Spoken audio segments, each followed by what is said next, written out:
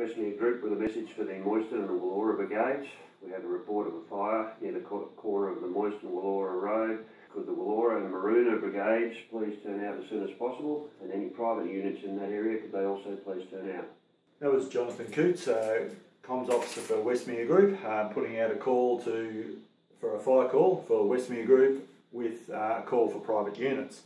Um, Jonathan runs one of the seven sub bases within Westmere Group every fire during summer will get that call for private units.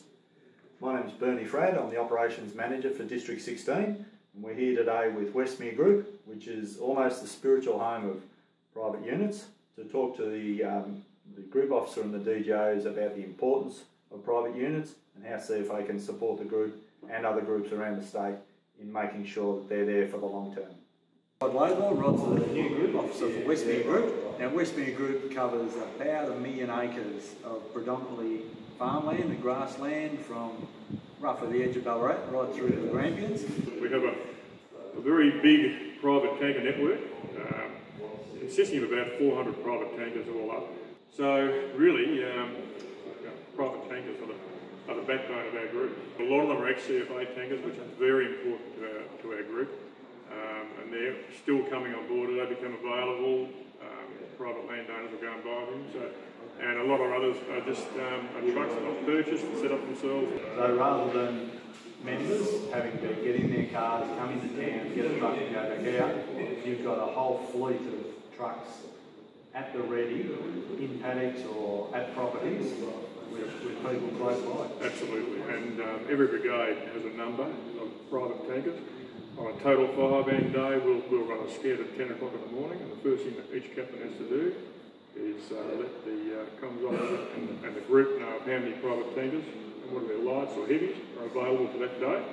So as it's a total fire ban day, we come to the law and Anthony Heard will say, okay, well, we've got uh, you know, 10 lights and 25 heavies available today, and that's on top of the CFA trucks. They're all crewed, ready to go.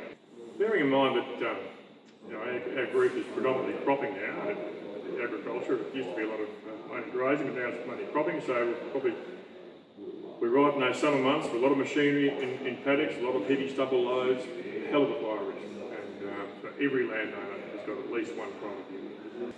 Okay, I'm here with um, David Allen from Woorndoo, who's a Deputy Group Officer with the Westmere Group. We've already heard from Rod about the importance of private units to first attack. Um, now, Westmere Group do an awful lot of roadside burning and, um, and protection of their community. So Dave, what, what use do private units do for you? They're an integral part of private burning, uh, burning the roads rather, uh, burning the um, Group burn about 480 kilometres of roads every year and at my brigade, Woorndoo, we burn about 60 to 70. Um, kilometres and the reason we burn the roads is uh, fuel reduction primarily but also the ecological benefits and another big added benefit is the training value for, uh, for, for, young or new firefighters. So the use of private tankers is uh, really important to make all that happen in a, in a uh, easy and seamless sort of operation.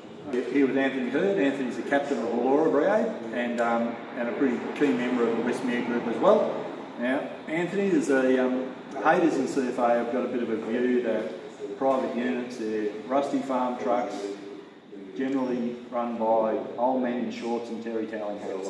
Um, you've got a very different view of that. Probably couldn't be any further from the truth there, Bernie. Um, at Willaura, we conduct an annual unit inspection where units, are, pumps are tested, uh, people give their trucks a run, so general roadworthiness sort of things are looked at.